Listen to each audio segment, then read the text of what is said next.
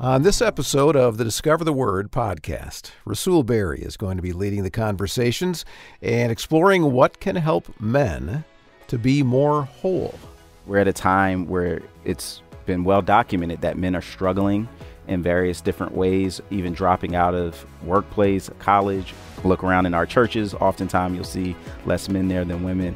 So, what do you think could be helpful in stemming that tide and helping us address some of those challenges that men are facing in our world today? Yeah, that's the question that we hope our conversations will help with. And those are questions that the Whole Man Project from Our Daily Bread Ministries addresses.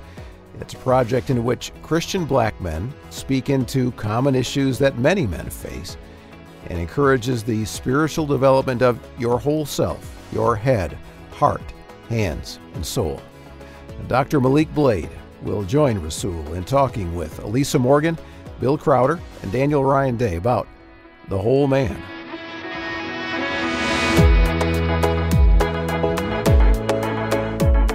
And welcome to Discover the Word, a Bible engagement effort of Our Daily Bread Ministries, and an episode of the podcast in which Rasool and Maliek are going to focus on four areas that the scriptures say are crucial to living a whole and balanced life when it comes to our relationship with God and our relationships with others.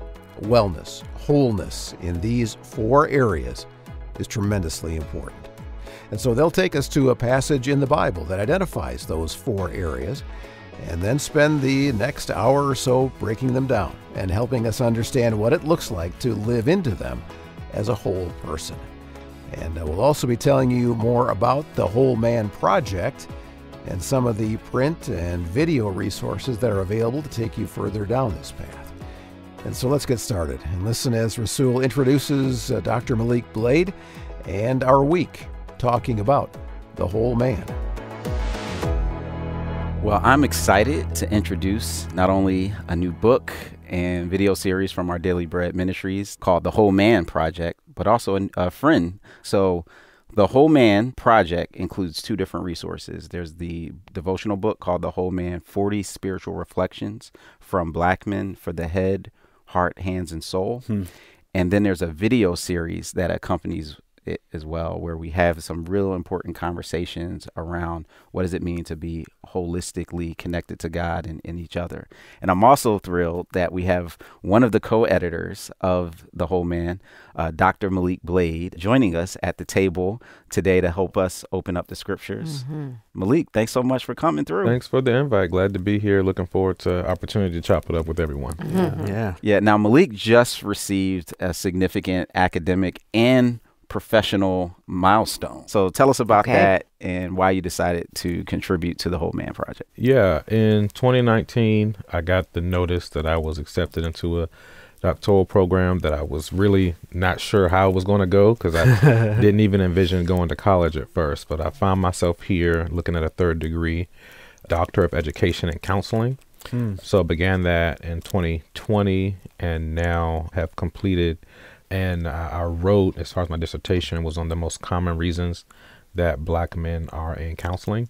Interesting. Uh, because there is somewhat of an, an uptick in terms of interest in mental health generally, but also specifically in the black community.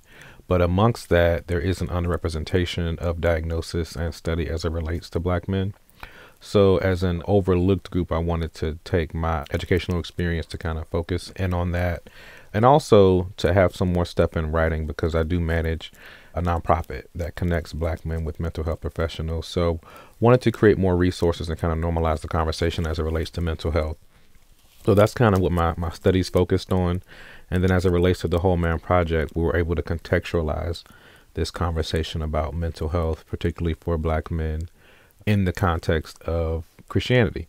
So what does this look like for Christian black men. Mm-hmm. Yeah. And this was a project that really we decided to be a part of because there's some very startling statistics about men in general in our society.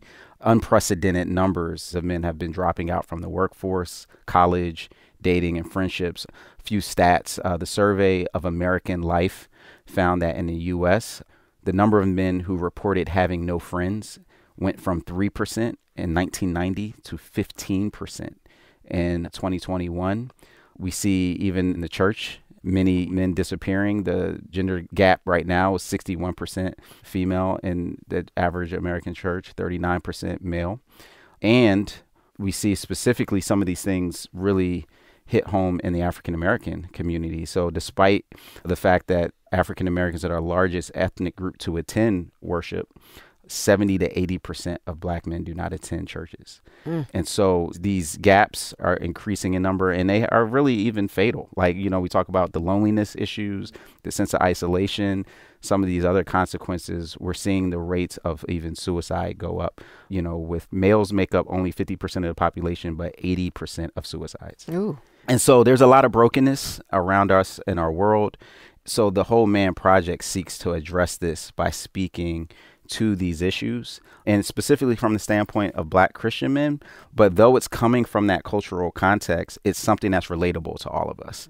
Yeah. And uh, just like we look at the Hebrew scriptures, come from a very Jewish context, but it's relatable and accessible to all of us. And so we're glad that you're at the table, Elisa. well, I can't wait to learn. I'm sure I'm going to add a whole bunch. Yeah. you know, and and as well Daniel and Bill. And so so yeah, that's kind of the basis for what we're going to look at and the format of the whole man book and that we're going to have in these next few conversations is head, heart, hands, and soul. Hmm. And we get that from other men who were struggling in the scriptures in the time of Jesus with the questions of life and issues. And there was one man in particular that we see struggling in Mark chapter 12. So we want to look at that and kind of unpack that passage. So, Bill and Daniel, could you kind of take turns reading that passage, Mark chapter 12? Sure. Beginning in verse 28. And one of the scribes came up and heard them disputing with one another, and seeing that he, Jesus, answered them well, asked him, Which commandment is the most important of all? Jesus answered, The most important is, Hear, O Israel, the Lord our God, the Lord is one, and you shall love the Lord your God with all your heart, with all your soul, with all your mind, and with all your strength. The second is this you shall love your neighbor as yourself. There's no other commandment greater than these. And the scribe said to him, You are right, teacher. You have truly said that he is one, and there is no other beside him. And to love him with all the heart, and with all the understanding, and with all the strength, and to love one's neighbor as oneself, is much more than all whole burnt offerings and sacrifices. And when Jesus saw that he answered wisely, he said to them, You are not far from the kingdom of God. One of the things I think I've been guilty of sometimes when I read this passage is the significance of this question. I almost can kind of approach it like Bible trivia. You know, mm-hmm. like that, that the sense of the question is kind of like simply, okay, of all the 600 plus mm-hmm. commandments, which one is the most important? Yeah. And I think that there's something deeper going on when we look at the Hebraic perspective on the commandments of God in general.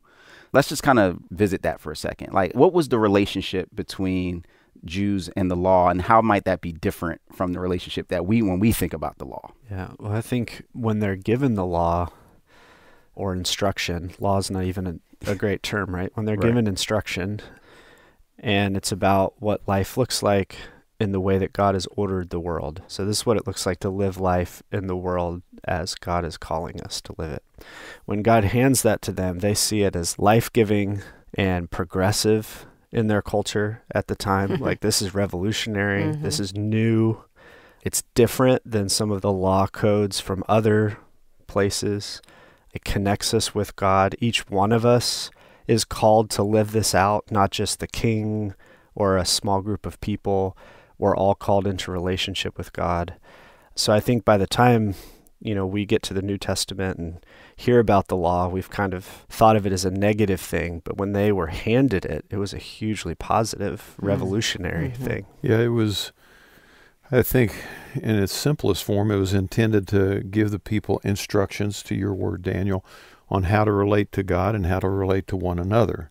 And you can see those natural divisions even in the Ten Commandments. The first several commandments are how they relate to God, and the rest are all how they related to one another as people. And yeah. uh, that became kind of the core around which Jewish life wrapped itself. And even the way it was given with Moses going up to Sinai personally, convening with God, mm. radical, yeah. radical. I was just thinking about just updating it uh, until today that in many ways a lack of understanding about what God presents affects our perspective. Mm-hmm. So I think even in, in the devotional, I discussed this idea of we can look at something as a prison or Mm-hmm. a protective guardrail. We could be looking at the same thing, but it affects how we receive what's being presented. And I think in the context of when we look at uh, deviations from instructions that God has given, there tends to be disorder. So when we can look at the present day, when we deviate from what's being presented to us, we'll probably understand better after you burn your hand on the on the stove that Yeah. that was more of a protective barrier than a. Mm-hmm. So good. Yeah. And and I think that's when we start to really get into the perspective and the value of the law from the Jewish people. And I think one of the all right, Bible trivia, what's the longest chapter in the Bible? Is it Psalm 119? Yeah. Psalm 119. Technically, do I it's get a not a chapter. Facts. what is the log? Yes, yes. Psalms. Yeah. That. All right. Let me rephrase. uh, longest section Pericope. of you know verses. Yes, pericope. Any case, whatever we want to call Psalm 119. Psalm 119 Yeah. is over 175 verses. Yeah. It's the longest psalm. We'll go with that. And and when we look go. at it, this is one of the things it says in verse 25 My soul clings to the dust. Give me life according to your word. When I told of my ways, you answered me. Teach me your statutes. Make me understand the way of your precepts, and I will meditate on your wondrous works. My soul melts away for sorrow. Strengthen me according to your word. Hmm. One of the things I love about Psalm 119 is there's so many different nouns that are even used to talk about the law, mm-hmm. statutes, commands, word, mm-hmm. precepts. But all of it is like this love letter to God because of his word.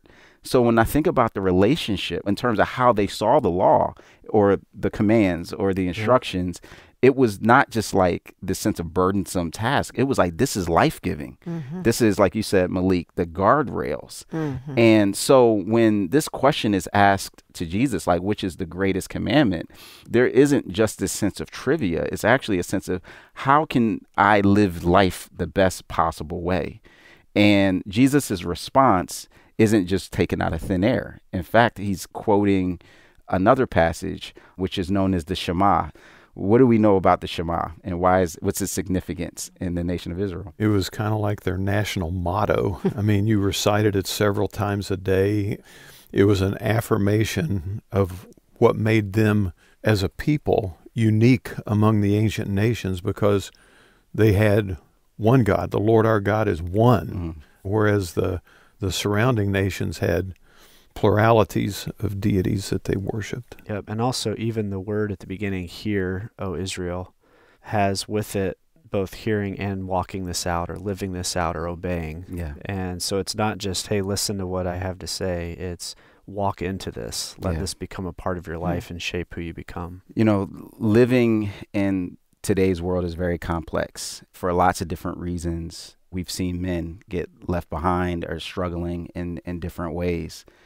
And it really does serve as a helpful reminder that this response from Jesus, love the Lord your God with all your heart, mind, soul, and strength, love your neighbor as yourself, isn't just a, a trivial answer, but it's something that can actually lead to wholeness. The path mm. to wholeness is one that is found in integration with our lives in God and all of who we are, right? And so we're going to break down heart, soul, strength, and mind and the rest of our conversations and see how that relates to what it looks like to love God with our head, our hearts, our hands, and our soul. And over the next few conversations, we're going to unpack how loving God like that will lead to our own wholeness. Live and be whole. Yeah, the whole man. Reflections on the heart, head, hands, and soul. That's where our conversations are going this episode of the Discover the Word podcast. Rasool Berry and Dr. Maliek Blade are leading the group through a closer look at those four aspects mentioned in the greatest commandment. And at the table with Rasool and Maliek are regular group members Elisa Morgan, Bill Crowder, and Daniel Ryan Day. Now, as we discuss the Whole Man Project and some of the foundational ideas that it's based on, we also want to make you aware of some of the resources that support this amazing project. The Whole Man Project is part of Voices, which is a facet of Our Daily Bread Ministries, which develops and distributes resources by black Christian content creators for communities of color. And so, before we get into those four aspects of the Great Commandment and how they influence our wholeness, we'd like you to listen to a conversation that Rasool and Maliek had about the Whole Man Project and their passion for it. Hey, it's Rasool Berry from Discover the Word, and I am here with Dr. Maliek Blade to introduce to you a new project from Our Daily Bread Ministries called the Whole Man Project. Maliek, why are you excited about the Whole Man Project? I'm excited because I think it's an opportunity for us as Christian men to address some of the things that men are seeing in the culture today and present some nuance that challenges us to grow, but also deals with some truths that may not be as welcomed in other circles. Yeah, so The Whole Man is both a devotional book and a video series. We're at a time where, you know, it's been well documented that men are struggling in various different ways, even dropping out of workplace, college, look around in our churches, oftentimes you'll see less men there than women. So, how do you think this book could be helpful in stemming that tide and helping us address some of those challenges that men are facing in our world today? Yeah, one thing that stands out to me specifically is this idea that's happening in our culture of redefining of what a man is. Many probably have heard the term toxic masculinity and may hear that as an indictment on masculinity as a whole. I think we're able to come in here and maintain biblical principles and affirm what it means to be a man as God defined it, but to also understand that there are areas for growth in how we perceive masculinity. There are some aspects that may be more influenced by American culture than biblical truth. Mm. So we have an, a unique opportunity to address some of the shifts within culture, affirm the good, but also challenge the areas that we might have thought were good, but are actually counter to the biblical principles. Yeah, that is so true. And so this Whole Man Project has both a devotional book, 40 spiritual reflections, that come specifically to address the different issues of head, heart, hands, and soul. We also have four videos that are discussions with men that come with discussion guides. And all of this is surrounding this aspect of helping those who are broken figure out what it means to be a man in Christ, come to that sense of wholeness through the whole man. So you can check it out at experiencevoices.org forward slash whole man. And uh, we look forward to being a part of that journey with you as we move toward wholeness together. Live and be whole. Yeah, thanks, Rasool and Maliek. Uh, that website again, experiencevoices.org slash whole man. Experiencevoices.org slash whole man. It's part of our Voices collection here at Our Daily Bread Ministries. All right, so now let's listen as they explore the first of the four aspects of the greatest commandment that provide the foundation for the Whole Man Project. Uh, they'll be talking about loving God and others with our whole heart. So, has anything or anyone broken your heart recently? Well, that's the question Rasool has for the group. In our last conversation, we gave the overview that the whole man project that we're working on is based on the greatest commandment to love the Lord your God with all your heart, head, hands, and soul. So, in this conversation, we're going to focus on the heart part of that passage. What does it mean to love the Lord your God with your heart? So, let's start with this question When is a time you've been heartbroken by a person or a circumstance? As we record, I immediately think uh, three days before today uh, was my grandmother's funeral. Mm. Uh, we laid her to rest at 88 years of age, and it was colon cancer that caused her to lose quite a bit of weight, lose memory. It was drawn out, but we saw her decline over mm-hmm. time. So watching it and then the funeral itself were like maybe two different kind of grievous experiences. Mm. Wow. Yeah. Sorry about that. yeah. Oh, grandmas are the best. Yeah. yeah. Yeah. I think about I think it's Bob Pierce, the founder of World Vision, who mm. would say to let your heart be broken by the things that break God's heart. Mm-hmm. And that's what I think of, you know, whether it's, um, you know, orphans, or I think about fistulas in the Middle East, or I think about the suffering in, in Gaza and Israel, or, you know, just I could go on and on. But going ahead to look and let our hearts be broken. Yeah. Um, my youngest son has three kids, the oldest of which is six. And his name is Bruce, and he's my guy. Bruce is my guy. All the other grandkids love Grandma, but Bruce is Papa's guy. So, so we're kind of together. What's wrong with him? And uh, okay. yeah, nobody's figured it out yet, and I'm glad. Um, but uh, they recently got him a dog, mm. and the other two kids just could not adjust to having this extra being mm. in the mm. house and so they ended up rehoming mm. the dog and breaking Bruce's heart, oh, which broke my heart. Yes, you know, because that hurts on he, a lot of levels. Yeah. He he was so taken with this little puppy and just loved it so much and Aww. and then to have it taken away was was pretty tough and I'm not questioning their judgment as parents they've got to make that call I just look at my guy and say oh mm-hmm. man he's hurting like crazy right yeah I would say probably the most painful heartbreak that I've been through was my grandma's death as well. She died on Christmas morning, and she and I were like super close. She lived on our property, and I spent all my time at her house, mostly because she would watch TV with me and feed me. Um, but she was just the best. So that was probably the one that was most heartbreaking for me. Yeah, I think about the first heartbreak I can remember in middle school was about a girl I had a really big crush on. Yeah. And I thought she liked me because she tripped over my feet one time and kind of gave me a look like it was somewhat like, oh, she did it on purpose. So eventually, after a few weeks, I worked up the nerve to again. Uh, to ask her to go to like because I instead of just saying, hey, can we be boyfriend girlfriend? I thought if I just ask her to go to the dance, that'll give me like a, a nice little hint. So I worked up the courage.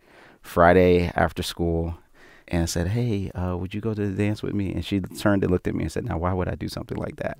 oh no! And I was, cru- yeah, it wasn't just a rejection; it was like that was a yeah. sledgehammer, and um, and I was devastated.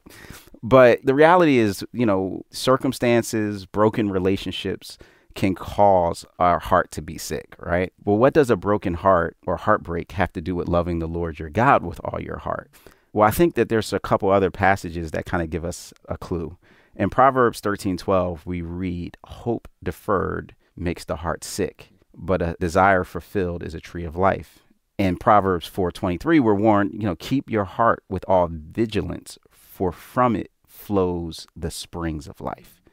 So, what if there is a sense in which all of these things that we talk about, whether it's disappointments and things that are happening in our hearts, what if what we do with those things actually relates to if am I bringing it to God or am I not bringing it to God? Am I loving God with all of those things and all of the passion or not? And so, what do you think it means to keep your heart with all vigilance? Well, I I would kind of say at least in part. Um, I would go back to the first verse you read, mm. Rasool. Hope deferred makes the heart sick. What have we set our hopes on? Mm. Part of keeping your heart with vigilance, I think, is setting your heart on the right things. Yeah. Or healthy things or appropriate things. And again, there's so many times we could talk about in our lives, whether it's a a favorite sports team. I mean, I'm a Cleveland Browns fan, so I'm used to having my heart broken every year, forever and ever. Um, but I mean, you know, whether stuff stuff like that, you know, holding a lot of things loosely uh, instead of clinging to them and putting our hopes into them, because hope deferred, losing a Super Bowl, makes the heart sick. Mm-hmm. Yeah, and I think that is really helpful with like the tendency we have to put hope in how much you know money we can save to kind of protect ourselves from bad things or at least as much as we think we can. I think what's harder to think about with this verse is what Maliek shared right? Losing his grandma through a bout with cancer. My grandma had a heart attack. Like those are things where like you can do all you want to try to be ready but when those moments happen, they still are shocking and unnerving. And I think it's much harder to think about what it looks like to keep your heart with all vigilance in preparation for those moments. Well, and Daniel, it's so good because life hurts. I mean, mm-hmm. it just is painful. And so it, instead of being stunned by it, you know, if we can remember where to put our heart, because pain is inevitable. We are going to encounter it, whether it's death or disappointment or you know whatever it is, and yeah. then we just live around needs all the time. I think of uh, my first introduction to this verse. It actually said diligence rather than vigilance, but I I think of both definitions kind of tying in with this idea of discipline. So I, I see it pointing us to this idea of what some other versions say, kind of just guarding your heart, having some level of discipline in relation to what you expose yourself to, how you process through these painful experiences. Mm-hmm. But also, it immediately reminds me of the Song of Solomon about awakening love before it's time.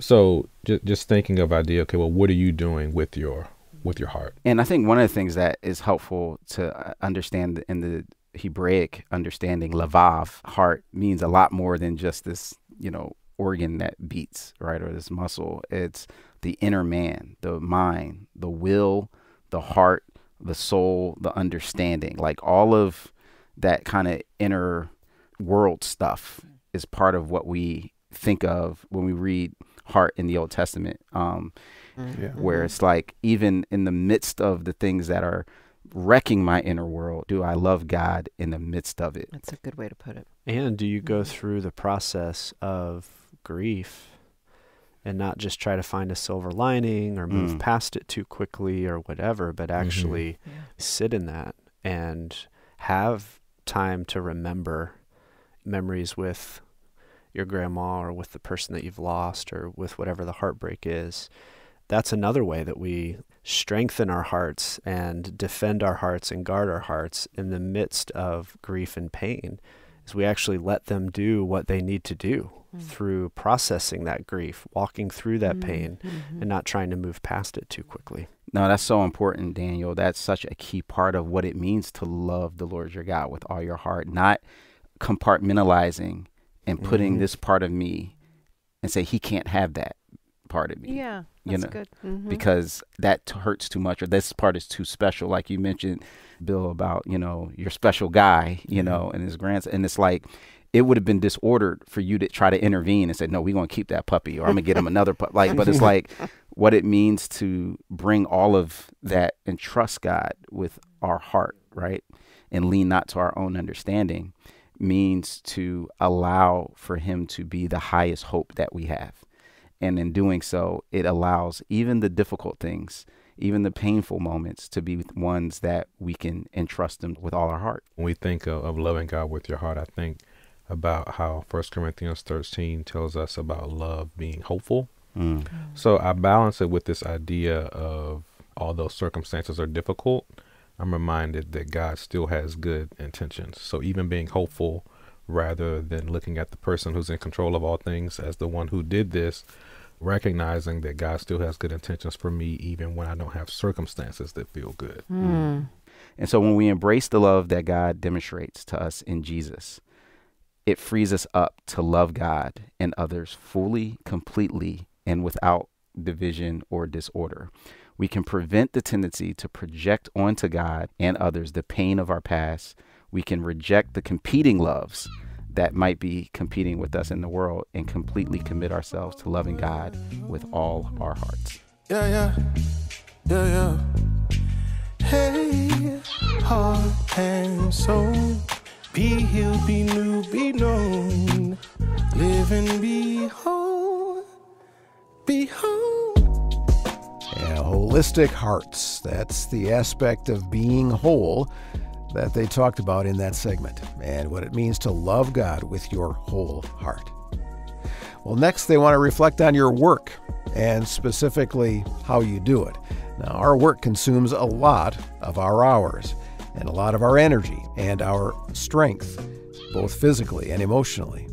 And so, how much would you imagine how we use our strength would matter to God? Well, this is another important aspect of your life that contributes to your being whole. And when it's not going well, well, life is out of balance and something's missing. Let's listen. So, we've talked about our hearts even our broken hearts win, win. Yep. and loves. Yep. Now, in this conversation about the whole man, we will look at the external expression of that love. Jesus said part of the great commandment is to love the Lord your God with all your strength. Now, interestingly, most of the time that the word used for strength is used in the Bible, it's in regards to God's strength, mm-hmm. God's might. But there are times when it's used to reference people, specifically in the New Testament, 1 Peter 4 10 and 11. Can someone read that for us? Sure, I got it. As each has received a gift, use it to serve one another as good stewards of God's varied grace. Whoever speaks is one who speaks oracles of God. Whoever serves as one who serves by the strength that God supplies, in order that in everything God may be glorified through Jesus Christ.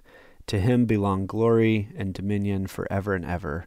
Amen. Did y'all notice something interesting that mm-hmm. happened in that passage? Yeah. By the strength that God supplies. Mm. Right. Mm. So there's this acknowledgement that strength comes from God, but also there's an exhortation that we serve with that strength. Yeah. Right. That, that we, strength, not our strength. Exactly. Mm. Right. Mm-hmm. God is glorified not just in our worship, but in our work. In fact, in Hebrew, avodah is the same word for worship and work. What do you think of the implications of that for us? Yeah, so I was in the moment as you were leading up was thinking about how I've expressed previously that our free will that we are given is meant to be used to glorify God. So, yes, it's ours. I can make the choice. I can do what I want. But there's this expectation that in that freedom that I've given you, bring it back to me. Mm. So, that's our work is in essence worship because we're yielding to God with the freedoms that we have. Yeah, and I love that because will is another expression of that sense of strength, right? Like even willpower we talk about. Yeah. It's interesting. Martin Luther talked about the fact that no matter how small a task it might be, whether it's hoeing a garden or changing a diaper, if it is done to the glory of God, it's an act of worship. Mm, that's beautiful. Mm-hmm. Mm, yeah. Changing a diaper as an act of worship. Moms, might have, moms might have something to say about well, that. Well, what else are we going to do? But yeah, just, I was actually thinking about Brother Lawrence, Ooh, yeah. who his whole book on practicing the presence. And yeah, I think moms learn to do that. But I think it's so concrete, you know, whether he was scrubbing a floor or washing a pot, that can be an act of worship. One of the times that I was in Israel, we were at the western wall of the Temple Mount. They call it the Wailing Wall. And there's a men's side and there's a woman's side, and you have to have a kippah on your head to, if you're a man to go up there. And I noticed that there were several young Jewish men up there, and they were very vigorously leaning forward and back, forward and back, forward and back, almost like a piston. Mm-hmm. And and I asked our Israeli guide, why do they do that? Mm-hmm. And she said, well, they're loving the Lord their God with all their strength. Wow. Because mm. every ounce of energy they have in them, they're putting it into that bowing repeatedly as they pray. And and I just thought, I don't know that I would have ever made that mm. connection, but Mm-hmm. their energy mm-hmm. yes was going into what they were doing. Yeah, it also reminds me of in liturgical churches, liturgy is called the work of the people. Mm. Mm-hmm. And so there's a sense in which within worship when we come in and and serve or lead or whatever we're doing within worship, there's a sense in which we're also at work. Sometimes I think we lose sight of that because we think of church as like the place where we worship.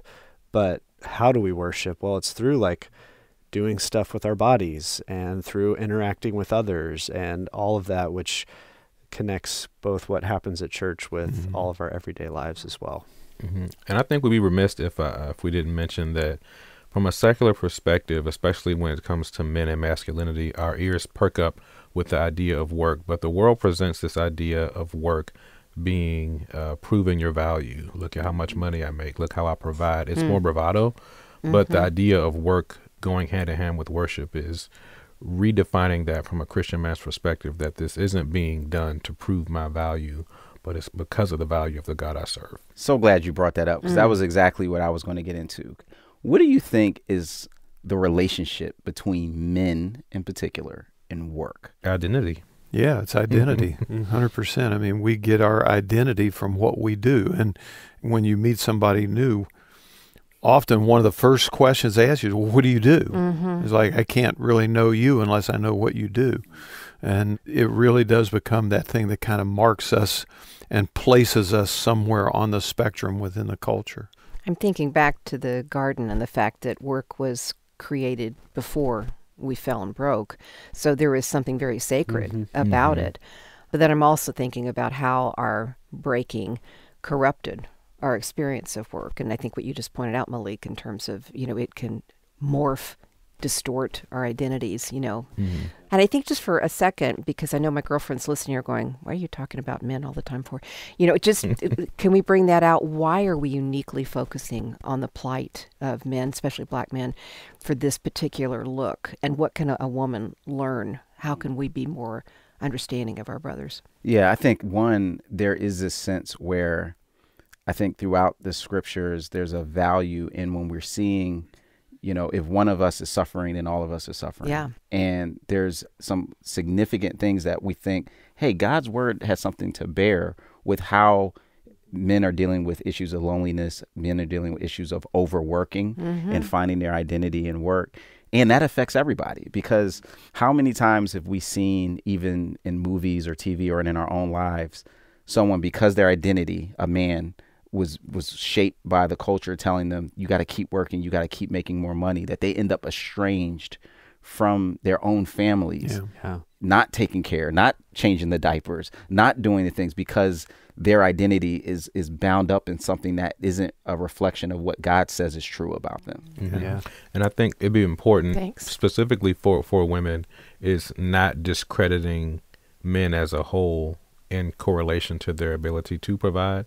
So many men lost their jobs during COVID, and then there was a spike in demand for therapy. So I think mm. about how it's important to understand that men's perceptions of themselves are oftentimes, and this is black men, white men, this tends to go across cultures, it is heavily tied to how women perceive us. Mm. So I think in the context of romantic sense or even family, it may be important to affirm that man regardless of job status or income. Yeah, and there's another layer that I think is easily broken within us as men because sometimes we see other jobs or careers as the thing that we wish we were more able to do. And so there's always a lack of contentment and feeling of incompleteness because I didn't make it as a professional soccer player or whatever, right? Like like oh, I really wish I had the glory of that job which is also tied to identity. And because I don't have that, it's hard for me to just be content with the work that God has invited me into. And we look down on each other the same way. Yeah. Mm-hmm. Yeah. And that's why it's important for us to set the foundation right. Like God creates man in his own image, you know, male and female, he creates them prior to work. So then he gives them work, not for them to define their identity by what they do, but to walk in the identity of being image bearers, mm. you know, as they do what they do. And that's a subtle but very important difference that can cause us to either be imprisoned by our job or even the things that we aspire to do that we haven't have been able to do because someone actually read uh, colossians 3.23 because i think that I've got really relates to this yeah whatever you do work heartily as for the Lord and not for men, knowing that from the Lord you will receive the inheritance as your reward. You are serving the Lord Christ. Whatever you do, work heartily. Did you ever see the protest signs, the I am a man yeah. signs, sometimes in black and white that you see? Th- those signs were worn in a protest specifically during civil rights era where in 1968 in Memphis, this is right actually the protest that Dr. Martin Luther King Jr. was planning and being a part of when he was assassinated in Memphis. And what had happened was over the years, black sanitation workers were being paid less. They had unsafe equipment that caused some deaths, like people to be killed in the trucks. And so they wore these signs that said, I am a man, that was trying to get to this fundamental aspect of like this basic truth that, yes, I pick up trash and throw it into the back of a truck but this is dignified work because I'm doing something that is, you know, of honorable that God sees me in a certain way. So regardless if you're a sanitation worker or an ambassador at the UN, the same admonition is there. Whatever you do, work heartily for the Lord, knowing that you're serving him. And when we do that, we start to see ourselves really reflecting the image of God that he's already instilled in us to have. another aspect of the wholeness that the Whole Man Project stresses, and that is our work and what we spend our strength on. You're listening to Discover the Word and a series of conversations in this episode that are focusing on the foundational values in the greatest commandment that together contribute to our wholeness in our relationship with God and our relationships with others. All right, so the next aspect of being whole that the group will explore together is loving God with all our mind. Now, what does that even mean? And what does our mind include?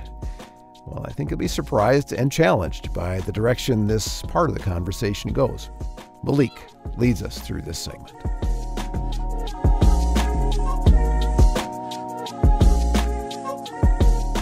In Mark 12, 30, it says, And you should love the Lord your God with all your heart, and with all your soul, and with all your mind, and with all your strength. So when we think about the mind, it's important to consider the many different ways that the mind is affected as we live this life. So if, if anyone's willing, could you read Philippians 4 4 through 9? Mm, yes. Rejoice in the Lord always. Again, I will say, rejoice. Let your reasonableness be known to everyone. The Lord is at hand. Do not be anxious about anything, but in everything by prayer and supplication with thanksgiving, let your requests be made known to God and the peace of God, which surpasses all understanding, will guard your hearts and your minds in Christ Jesus. And finally, brothers, whatever is true, whatever is honorable, whatever is just, whatever is pure, whatever is lovely, whatever is commendable, if there is any excellence, if there is anything worthy of praise, think about these things. What you've learned and received and heard and seen in me, practice these things, and the God of peace will be with you. So, as a mental health professional, but also a Christian, I, I read that and I see a lot of overlap between hmm. the idea of therapy and counseling and just the Christian worldview. But I also understand that sometimes in Christian circles, this idea of, quote, secular psychology might be seen as taboo or counterintuitive to a Christian worldview. But I don't want to assume that that's everyone's experience. Have you observed that at all, where therapy or counseling is maybe taboo in a Christian setting? Not so much taboo, but suspect. Okay. uh, it's just kind of held at arm's length. Mm-hmm. And that's kind of the tradition I came out of. And it's kind of a shame, you know, honestly, because I remember talking to Dr. Christina Edmondson and her making the point that the brain is an organ. And, you know, if you had a heart problem, you would go to a doctor. And so mm-hmm. if we have a mental health problem and it's, it's maybe in our brain, maybe in our emotions, it's legitimate and it deserves to be treated. Yep. So I help lead our ministry effort to basically 18 to 39 year olds. And the amount of conversations in this space. I mean, anytime we post anything related to mental health, it just always gets shared a lot. Mm-hmm. People comment on it a lot.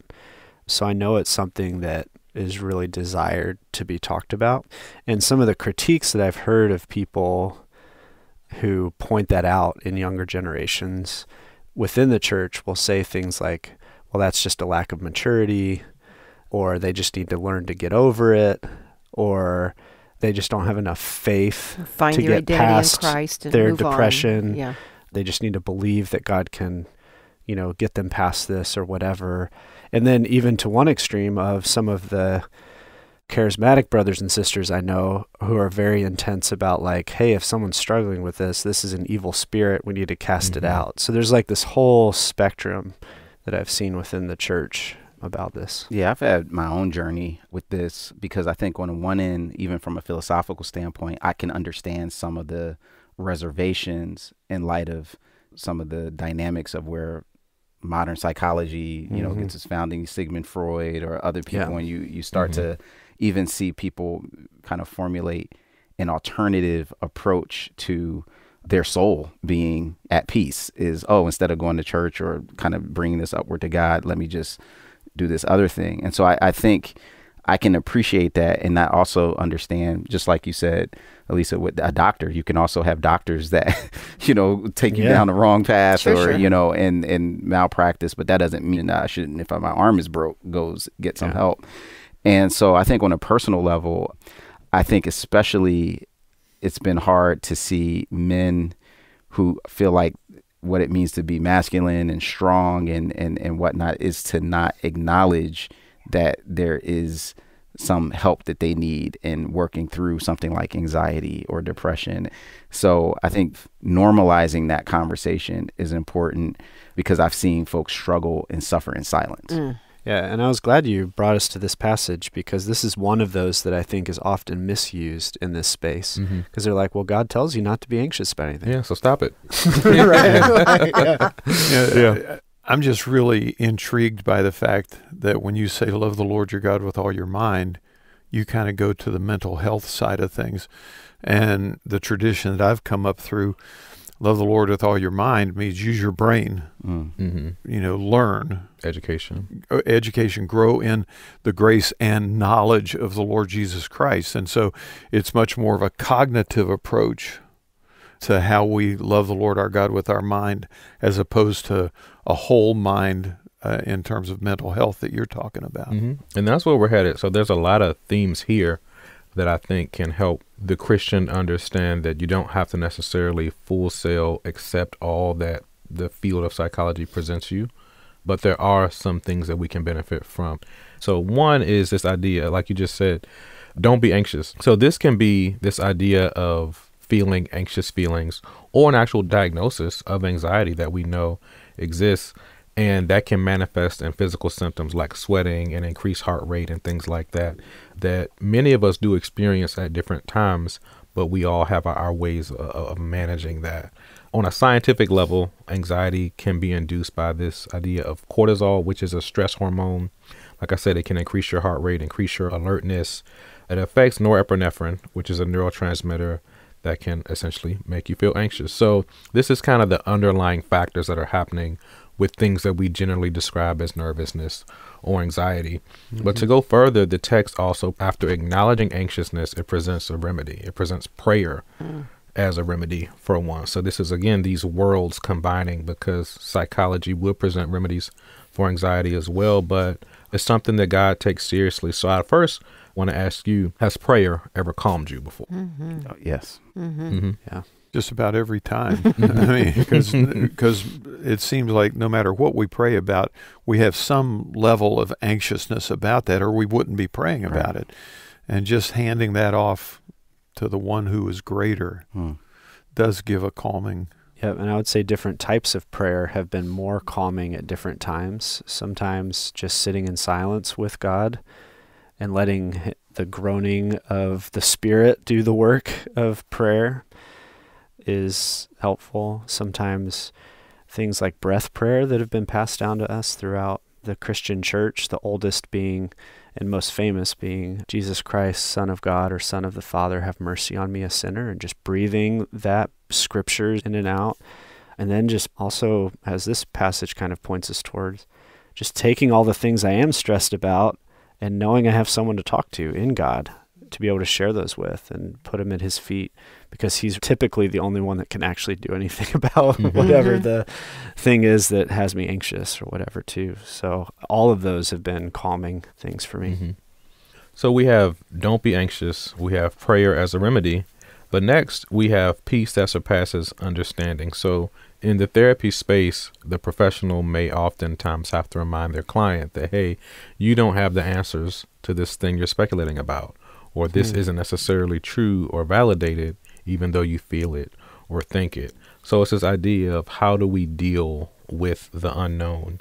And what this text is presenting this idea of you don't necessarily have to have all the answers. Mm-hmm. I'm providing a peace that'll work even if you don't you don't get the answers. So we ha- kind of have God presenting uh, cognition that is more healthy than speculating or creating narratives in our head that will then cause the anxiety that we're mm. trying to remedy. You know, Maliek, about a year and a half ago, this is going to sound weird, but hang with me for a 2nd mm-hmm. about, about, a year and a half ago, I was actually asked to write a book about worry, mm-hmm.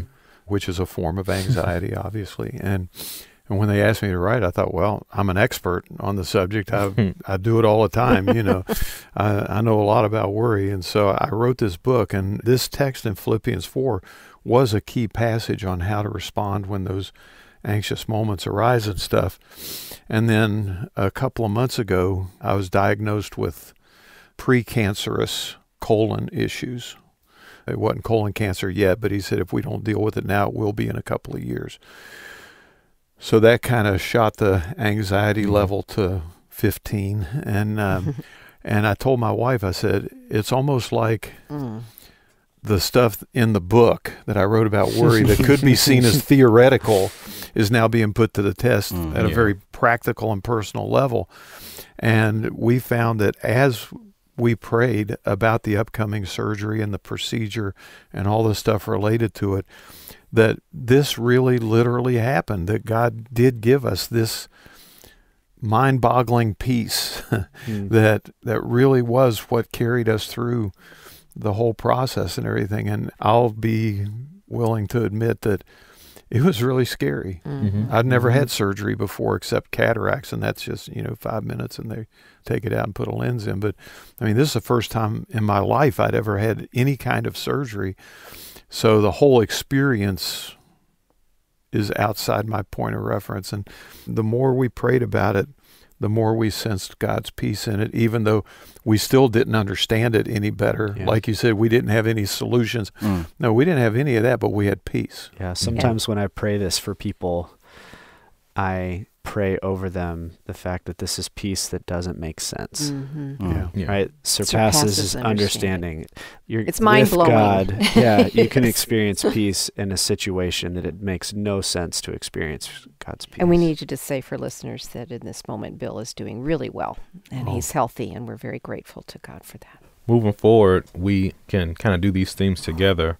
So after acknowledging don't be anxious, prayer as a remedy, peace that surpasses understanding, we also see to guide our minds and hearts.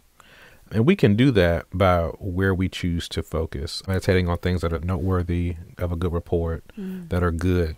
That is us in practice guarding our hearts and minds on what we choose to think about. Mm-hmm. And so often, anxiety and depression while they can be induced by a variety of factors, we can be the ones that are creating it in ourselves yeah. by what we choose right. to speculate about and think about and meditate on.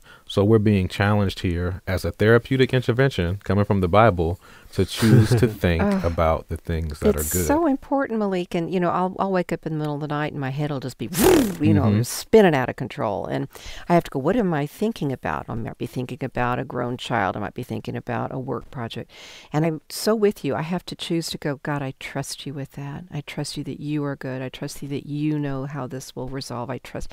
There, there is a response. And yes, peace will come, but it's up to me as well to enter into that trust. Yeah, and I think about the relationship of all this together. You know, Bill asked a question about like the traditional way of thinking about love the Lord your God with all your mind as an intellectual mm-hmm. pursuit, which is how I thought about it for a while. But then when we see this holistic approach, we realize this makes sense because these look at the words that are used in this passage yeah. anxiety, understanding, thinking, reasonable, like even guard your mind and heart. Mind and heart, right. Mm-hmm. So there's this holistic approach where the way we understand who God is can affect our sense of anxiety and the way that we are struggling with things can be responded to through having a, a therapeutic intervention as well as a theological understanding and those things can come together mm-hmm.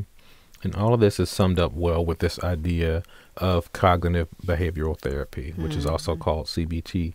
It pretty much is kind of pulling the curtain back and looking at the cognition. What are you thinking? So, cognitive behavior. What are the behaviors of your mind? How are you processing through your experiences and your feelings? And essentially, before it was even labeled CBT, we always see that happening here in the text that mm. God is challenging us to look at the thoughts and see is this valid or not, mm. and then adjust accordingly by focusing on the things that you do know to be true that are good rather than speculating about the hypothetical things that may be bad or evil. So we see CBT in the Bible long before mm-hmm. it was even called mm-hmm.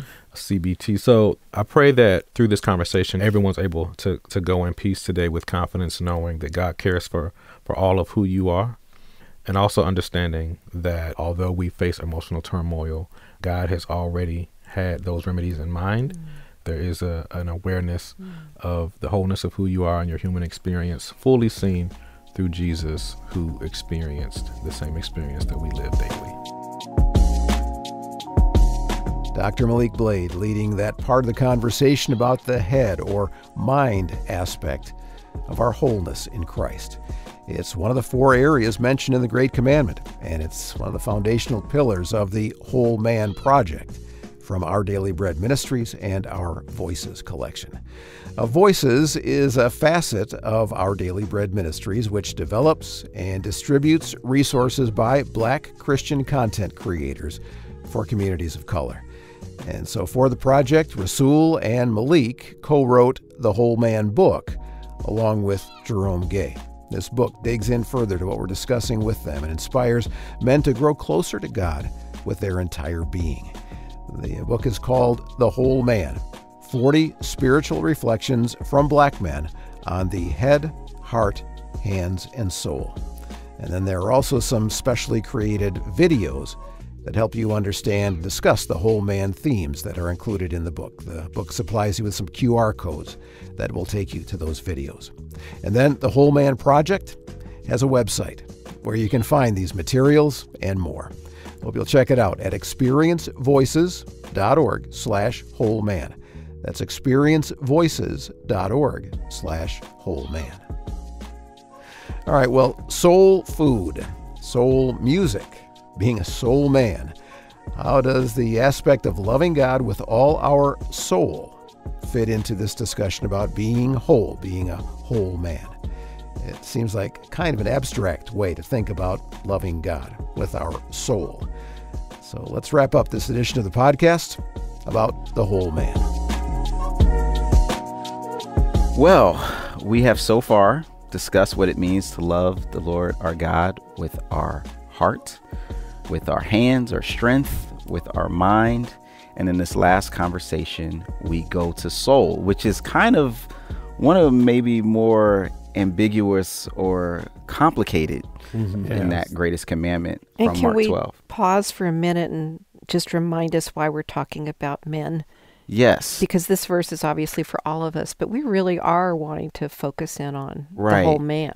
Yes. So, you know, we were able to work Dr. Maliek Blade and I as co editors on the Whole Man project along with Pastor Jerome Gay.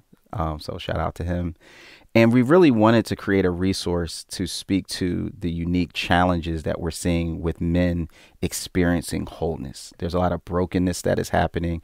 And we think that that affects everybody. Yeah. Right. Mm-hmm. A rising tide lifts all boats. That's right. Um, and so if we can build up men in this area, we think that it'll be helpful for us all. And so even though these themes are universal, we have thought about specific ways that we need to address that in the context yeah, of men. Thank you. In the context of the whole man, we focus on the entirety of our lives and the struggle we have to harmonize life with God. And even though it can feel ambiguous, when we start to look into some specific passages, we start to see soul come alive. So we're going to look at Psalm 42, the first mm. six verses. And if we could just kind of take turns going around the table, maybe reading one or two verses each, that'd be great. Maliek, how about you start us off? As a deer pants for flowing streams, so pants my soul for you, O God.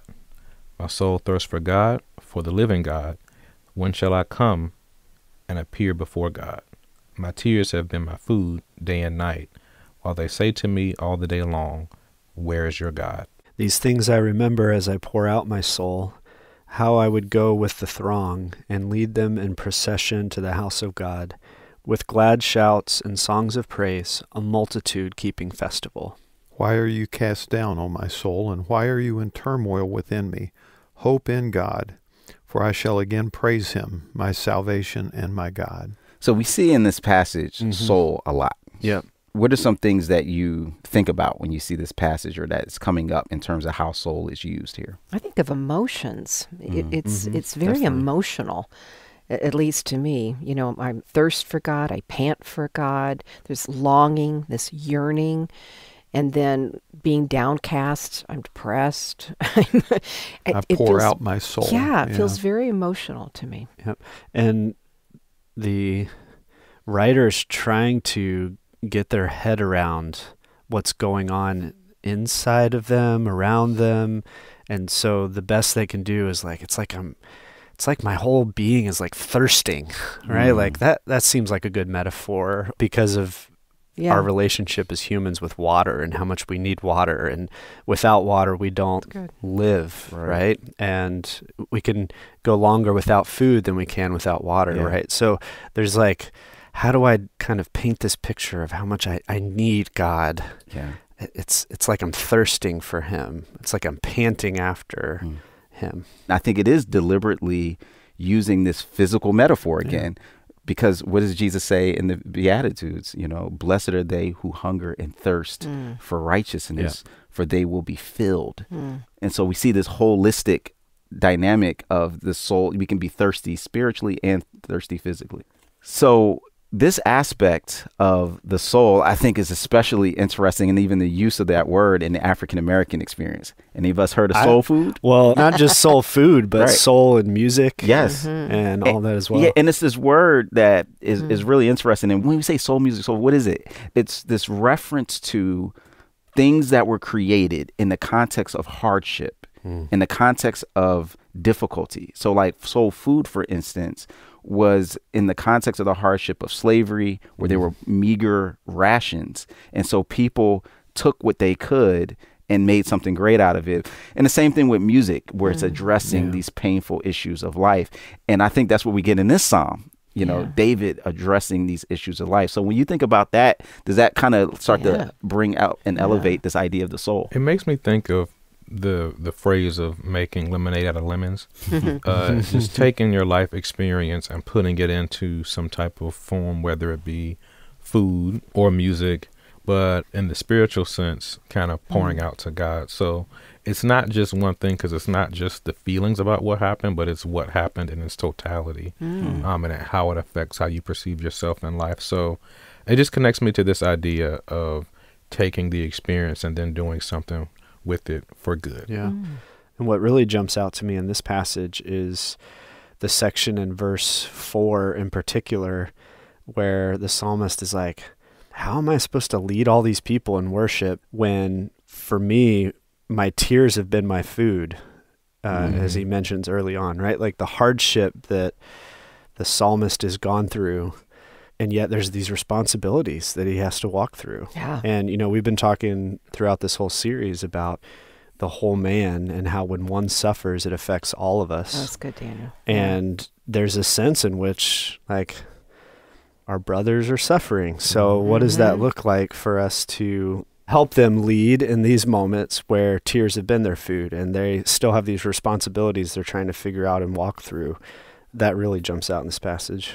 Uh, what jumps out to me, Daniel, is we've talked in earlier discussions about the danger of quick fixes. Stop worrying. Mm. Oh yeah, mm-hmm. sure. Okay. Yeah, done. Yeah. And I'm not saying this is in a quick fix category, but when you read the psalm, he he goes through all the pain and struggle in verses one through four, and then he has this moment of reflection. Why are you cast down, O my soul? Why are you in turmoil? Hope in God. What's the matter with you? But then in verse 6, he goes right back into trouble and struggle again, yeah. and then comes back with the same refrain at the end. I mean, the quick fix doesn't fix necessarily, even when it's the right fix. Mm. I mean, putting our hope in God is the right fix, but that doesn't mean it's going to solve all our problems in that moment. Absolutely. And I think the thing that we want to normalize here, because sometimes there's so much shame yeah. with men around struggle mm-hmm. around this aspect of wrestling. And there's something specifically in this idea of how they may perceive, how we may perceive masculinity that can even just feel bad about the fact yeah. that I don't have a fix. I can't fix it. We're fix it people, right? right? Like we're told to fix things.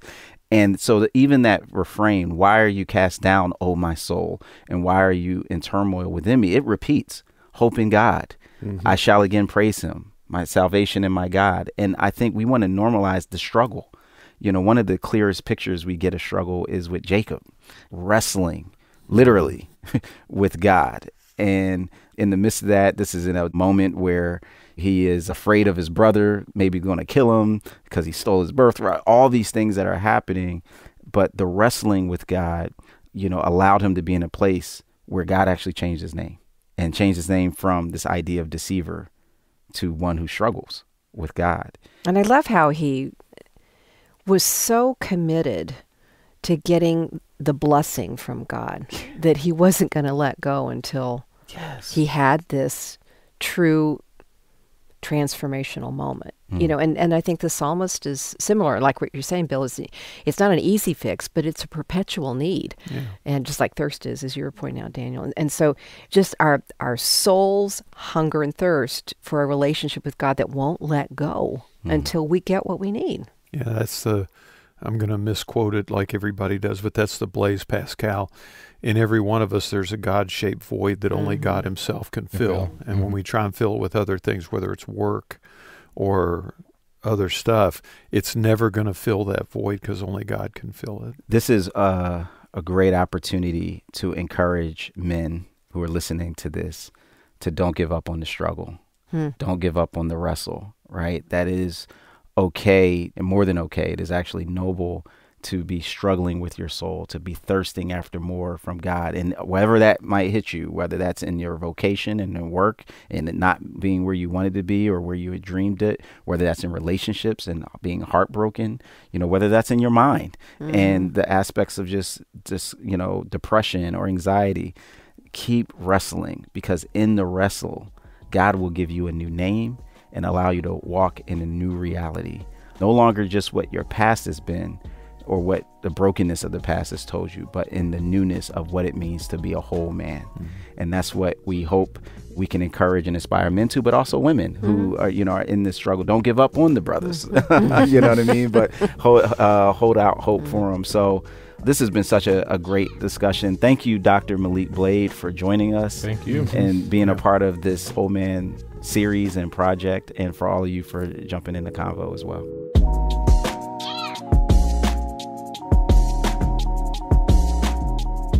Yeah, that was a worthwhile and challenging conversation, wasn't it? Uh, Rasool Berry, Dr. Maliek Blade, who worked together on the Whole Man Project through our Voices collection at Our Daily Bread Ministries, led the study. And at the table with them were from our regular team Elisa Morgan, Bill Crowder, and Daniel Ryan Day.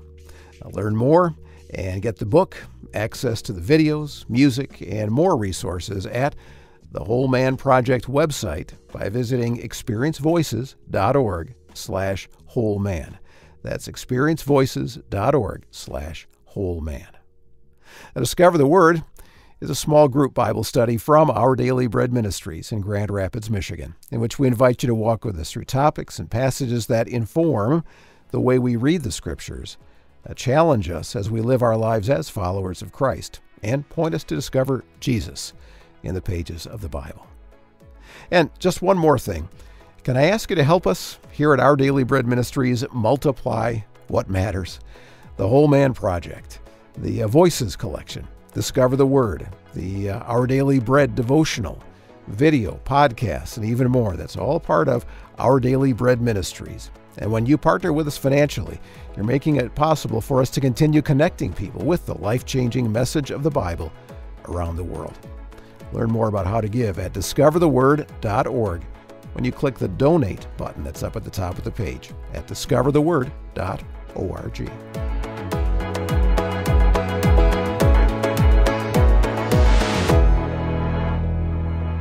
All right, well, thanks for listening. I'm Brian Hettinga. Discover the Word is provided by Our Daily Bread Ministries.